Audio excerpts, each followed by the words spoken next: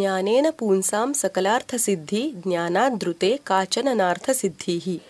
ज्ञानस्य मत्वेति गुणान् कदाचित ज्ञानैन मुञ्चयति महानुभावाः।